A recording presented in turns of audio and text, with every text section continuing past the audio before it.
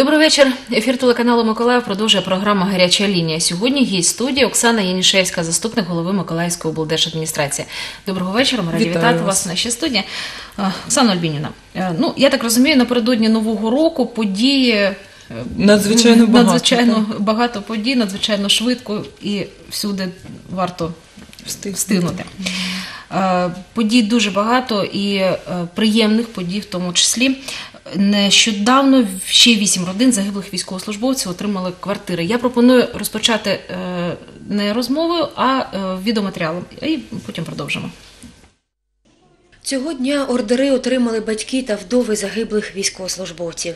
Їхні годувальники загинули, боронячи мир в нашій державі. Ці ордери лише маленька частка того, що держава повинна зробити для цих родин. То, что сегодня мы передаем ордера, это ни в коем случае не идет речь о каких-то наградах и тому прочее. Это то, что обязано сделать государство. И не только в этот период, а на самом деле и ранее. На придбання житла сім'ям загиблих інвалідам АТО з державного бюджету було виділено майже 11 мільйонів гривень. Щодо сімей загиблих військовослужбовців, всі ті, хто стояли на черзі, на яких було заплановані, заплановані виділені кошти, е, сьогодні е, вручили квартири, останні, які вже придбали. Тобто ми всю програму виконали. На сьогодні вручено вже 19 квартир, йде оформлення документів на придбання останньої. Тож е, ця програма обласна влада її реалізує, і в цьому році це вже востаннє, так ви вручаєте? Е, Ну, е, трохи про цю програму і плани на е, рік наступний. Ймовірно, наступного року також будуть подібні вручення. Так, для нас це дуже важлива була подія, і е, ми дуже е, раді, задоволені тим, що ми одна з найперших областей в Україні, які повністю вико- виконали е, програму цю і використали всі кошти. Програма передбачала в собі придбання поліпшення житлових умов е, для сімей загиблих військовослужбовців та інвалідів першої другої групи е, з числа тих, які безпосередньо брали участь в антитерористичній операції. Е, На Миколаївщину надійшло 10,9 мільйонів гривень, і черга у нас складала 19 родин. Ми всю програму виконали, всі квартири придбані, е, залишилася лише одна. На сьогоднішній день іде процес е, оформлення документів. Я сподіваюся, що до нового року ми останній ордер також зможемо вручити. Це дуже важливо, тому що. Е, Коли ми зустрілися з проблемами перших е, сімей загиблих військовослужбовців, перші чотири квартири були придбані за рахунок е, коштів благодійників. І також одна з квартир е, за рахунок е, районного бюджету, і також за допомогою благодійників в Жовтневому районі, одна в Очакові, дві в місті Миколаєві. Ще одна квартира за рахунок благодійних коштів буде видана найближчими днями. Тому, коли надійшли державне фінансування і була прийнята така програма Кабінету міністрів, звісно, це величезна підтримка і для області, і для тих сімей, які е, опинилися в таких життєвих обставинах, коли Загинули годувальники, е, чоловіки, сини, і родина потребує поліпшення житлових умов. Тобто 19 е, сімей у нас отримали житло, і дуже добре, що е, ми встигли реалізувати цю програму і не повернемо жодної копійки коштів до бюджету, а все використали, і люди вже матимуть змогу переїхати до нового житла. Це е, в цілому по області 19 родин в черзі, або це в місті в Ні, це центрі? по, це по області, тому що там є і квартири і в Баштанці, і в інших районах області. Це загальна кількість для сімей загиблих військовослужбовців та інвалідів першої другої групи е, по всій області. Наступного року програма буде продовжена. Ми Чи є люди, які сьогодні вже Так, є ще черговики, і ми дуже сподіваємося, що програми будуть такі продовжені. І коли минулого тижня у нас проходила велика нарада загальнонаціональна, всеукраїнська е, центрів допомоги демобілізованим учасникам АТО, одним із пунктів резолюції цієї зустрічі було саме продовження е, дії таких програм по всій Україні. Це не лише стосується Миколаївської області. Але для нас сьогодні важливо не лише забезпечувати житлом сім'ї Постраждалих, загиблих та інвалідів. Сьогодні е, дуже важливим стоїть питання забезпечення житлом е, діючих військовослужбовців. І ці програми також існують. І ми на Миколаївщині вручили вісім таких квартир е, буквально в цьому місяці. Але дуже сподіваємося, що програми будуть продовжені, і наступного року ми зможемо поповнювати житловий фонд придбанням квартир, придбанням житла за рахунок державних коштів. А розкажіть, будь ласка, це житло, яке людям вручають ключі від них. е, Це що? Це первинне, вторинне? Це вторинний ринок, да, в більшості це вторинний ринок, е, тому що постановою передбачено житло, яке буде е, придатне для проживання в ньому. А у нас в Миколаєві, якщо розглядати первинний ринок, це скоріш за все житло, яке ще не придатне, не зроблене косметичні ремонти, не обладнане необхідною технікою, сантехнікою або необхідним приладдям для того, щоб родина могла переїхати і жити. Тобто всі квартири, які знаходяться на первинному ринку, їх ще треба дообладнувати. Тому всі сім'ї були залучені до процесу обрання житла. Е, Це не те житло, яке було придбано департаментом соцзахисту і просто передано.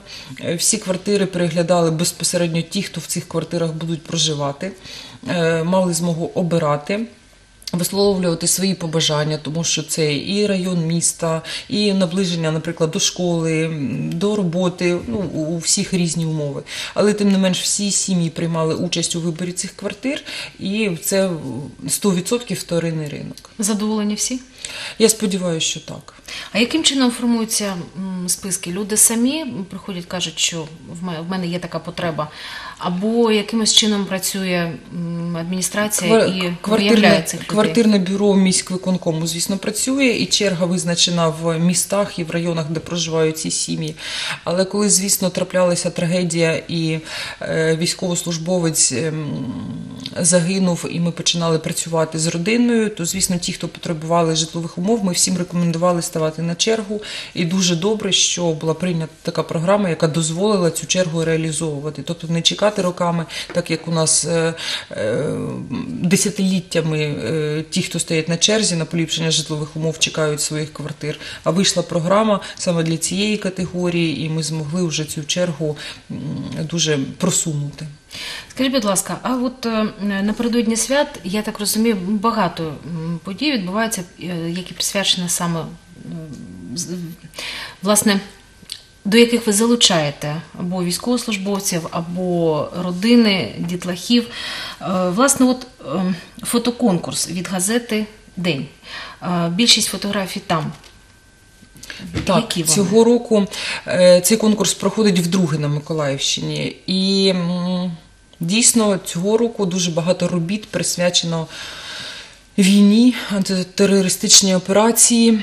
Висвітлені переміщені особи, переміщені люди, які покидали свої будинки. Тобто для мене фотовиставка це ще один засіб масової інформації, тому що дозволяє висвітлювати події, які відбуваються в нашій країні через е, е, роботи фотохудожників. Інколи це просто аматори, звичайні люди, які зняли навіть непрофесійною технікою, е, зробили фотографії, але тим не менш вони передають своїми очима, своїм баченням те, що вони побачили, те, що відбувається навкруги нас. Інколи ми є самі.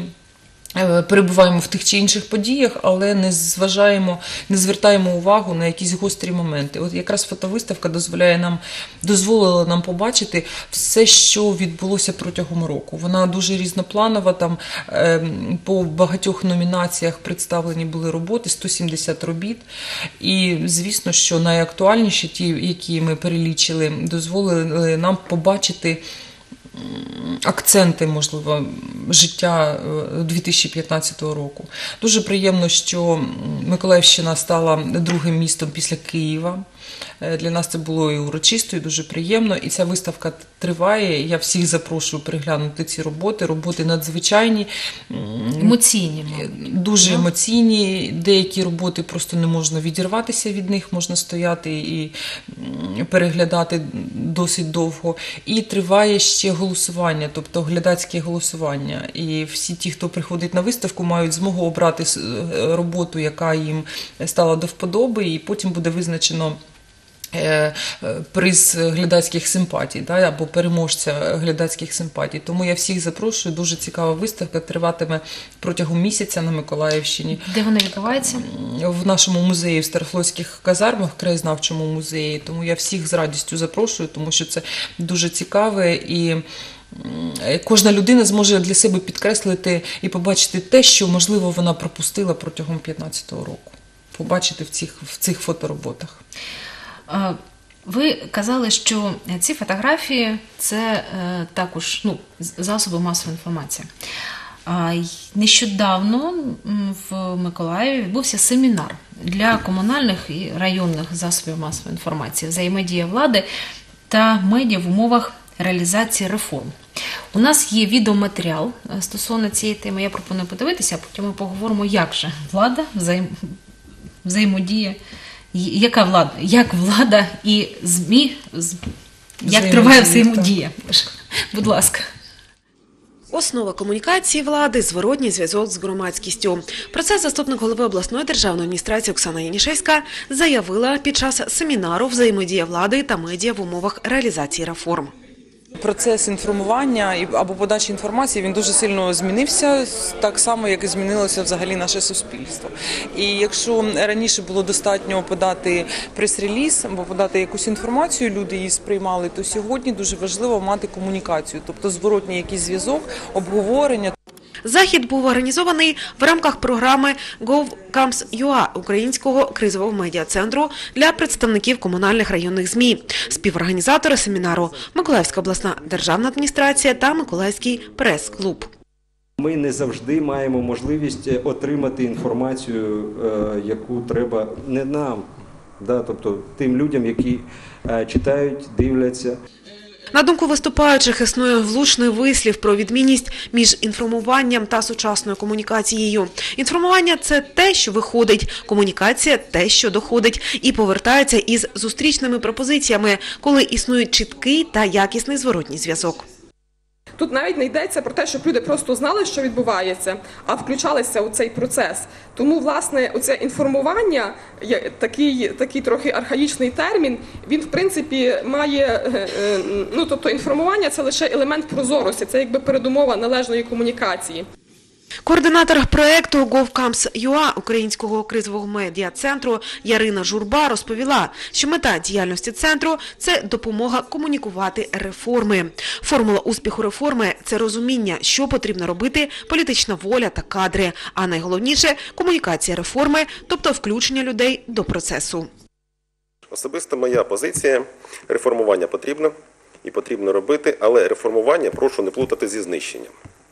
Раз з приватизацією два. Це абсолютно різні речі. Закон називається про реформування. Чи буде закон підписаний? Буде. Е, Не скажу, що він сьогодні підпишеться чи завтра. Говорили про реформи, які вже діють. Власне, про перетворення державного телебачення на суспільне. Неможливо не тому, що ну, все зовсім погано. Е, Неможливо тому, що відсутність е, змін взагалі вона створює таку ілюзію, що знаєте, як кажуть к- комп'ютерники, працює, не чіпай. Під час зустрічі обговорили процес роздержавлення комунальних газет. Запрошені головні редактори мали змогу обговорити нагальні питання та обмінятися досвідом. Так, станом на 1 жовтня в Україні нараховується понад півтори тисячі газет. На Миколаївщині – 47 газет, з них 24 – це комунальні. Середня вартість передплати комунальної газети в області – 77 гривень 50 копійок. Тож, як е, чи розвиваються сьогодні в Миколаївській області комунальні засоби масової інформації? Ну, власне, я маю на увазі районні, е, здебільшого газети, так, в районах, де в Первомайську та в Южноукраїнську є е, телевізійні канали, а так газети. Так, в більшості свої газети, і дуже м, зручно було м, е, те, що цей захід е, відбувся наприкінці року, е, перед процесом підписання е, деяких законів про реформування засобів масової інформації. І була можливість запросити якраз представників і головних редакторів комунальних засобів масової інформації, друкованих наших, як ми звикли говорити, районних газет, які, які прийняли участь в цій цікавій дискусії, які послухали дуже багато нової цікавої інформації і мали змогу поспілкуватися і поділитися досвідом. Е, Насправді в деяких районах наша районна газета, районка, як ми її звикли називати, інколи це основний засіб масової інформації. Тому Дуже важливо, щоб е, цей засіб масової інформації був якісним.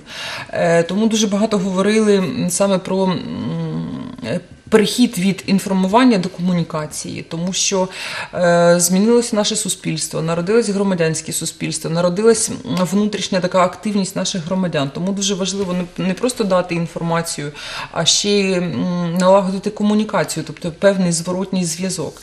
І ми маємо. Результати е, цього року, 15-го, і є велика кількість е, районних засобів масової інформації, наших газет, які потужно розвиваються, які змінили формат подачі інформації, там, де інформація стала більш цікавою, де дійсно є комунікація, є зворотній зв'язок, є звернення громадян е, на сторінках газет. І видно, що, до речі, цього року збільшилась передплата. Якщо брати статистику по всій Миколаївській області, передплата на друковані засоби масової інформації місцевого рівня збільшилась, загальнонаціонального або іноземного зменшилась. А можливо, від того, що передплата.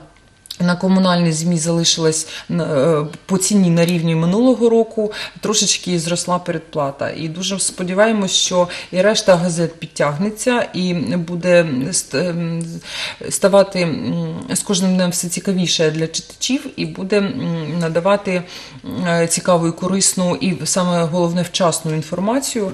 І е, люди будуть продовжувати читати і черпати інформацію саме з друкованих ЗМІ. Тим більше я підкреслю, що в районах інколи це основний або головний засіб масової інформації. Скажіть, будь ласка, от як ви вважаєте, чи має право на існування комунальні ЗМІ? Я маю на увазі те, що ну, в теорії влада е, має ну, певний вплив на редакційну політику. А, або сьогодні е, свобода слова таки вийшла на перший план, і впливу такого, як раніше, вже немає. Я думаю, що впливу такого, як раніше, звісно, вже немає, тому що е, суспільство порозумнішало, подорослішало, і дуже важко сьогодні комусь одному впливати на попит на іншу інформацію. Так, так? він сьогодні існує. Але на цьому семінарі була дуже представлена цікава інформація, статистика по е, о, о, обласних центрах всієї України, де було показано у відсотку. 100%, ем, де виділяється дотація на комунальні засоби інформації, скільки витрачається коштів на е, висвітлення діяльності влади. От на Миколаївщині із загальної ем, суми коштів на висвітлення діяльності влади витрачається лише 3% із 100% фінансування. Е, 30% заробляють наші засоби масової інформації з реклами, 40% це власні е, Заробітки з реалізації тиражів і лише решта дотація. Є області, наприклад, Львівська, де більшість е, комунальних засобів масової інформації на 60-70% є дотаційними. Чим більше дотація, тим більше може бути впливу. Та, Ми все це розуміємо. Наші засоби масової інформації, незважаючи на дотацію і на ті кошти, які вони отримують 3% за висвітлення діяльності влади, все ж таки можна вважати більш-менш незалежними, тому що вони. Дотації отримують там 20-25%. Це не, не така велика сума.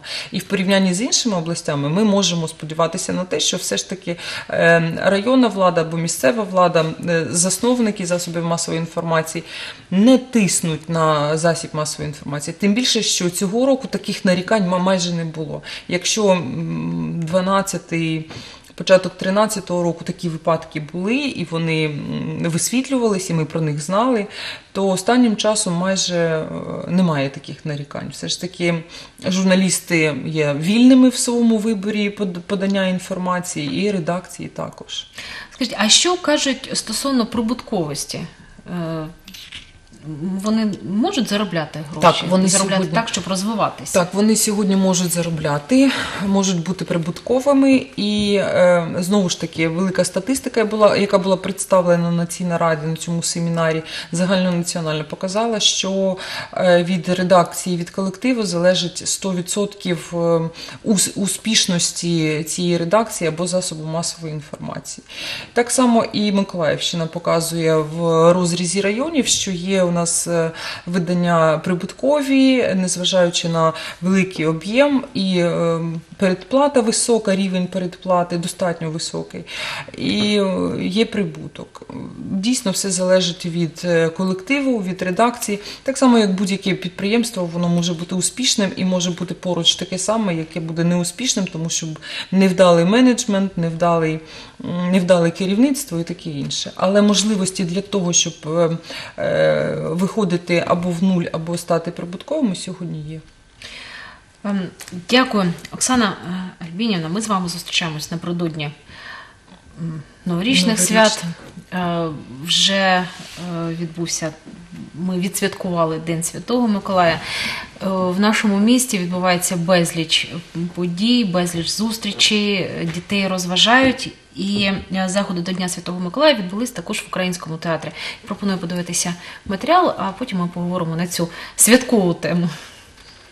Майже 800 дітлахів з усієї області відвідали сьогодні спектакль «Шерлок в пір'ях» і доктор Гага Гадсон у Миколаївському академічно-українському театрі драми та музичної комедії. Мы с дочкой сегодня пришли на праздник День Святого Николая. Посмотреть представление, да, Злата? Привітати малечу зі святом прийшла й голова обласної ради Вікторія Москаленко.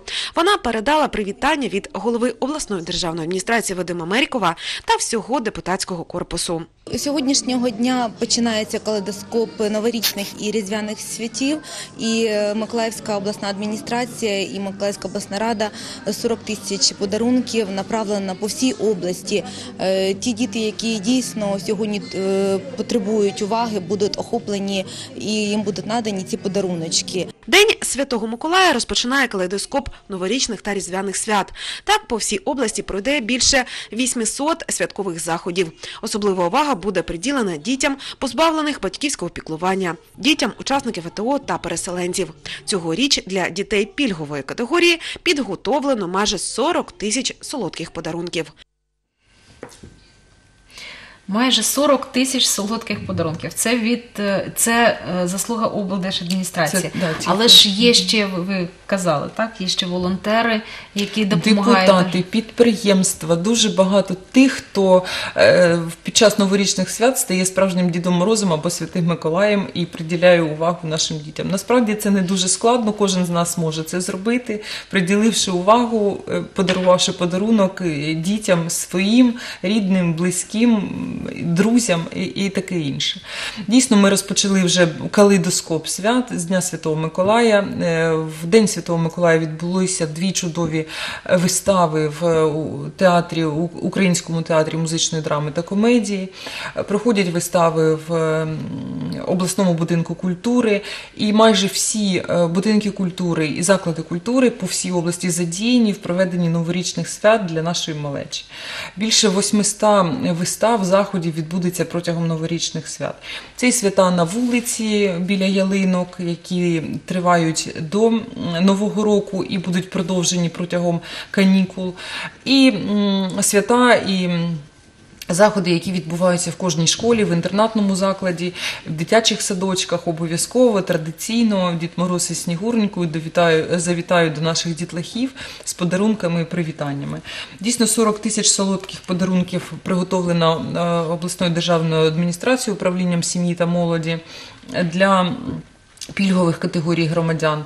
Але цього року е, також, ем, зважаючи на те, що майже е, дві тисячі дітей з числа переміщених осіб проживають на території Миколаївщини, ми подбали про те, щоб їх запросити обов'язково на новорічні свята і щоб вони також отримали подарунки. Ну і діти наших військовослужбовців, е, які також будуть відвідувати новорічні ялинки, свята і ті заходи святкові, які відбуваються на території області. Тому заходів буде дуже багато. Я сподіваюся, що вся малеча буде охоплена як новорічними святами, так і обов'язково подарунками. Що ж, я так вважаю, що малеча не буде проти таких подарунків. Солодощі полюбляють всі. І Дякую за те, що завітали до студії. Дякую за відповіді. На жаль, наш час вже вичерпано. Зустрінемось ще. Дякую, до зустрічі.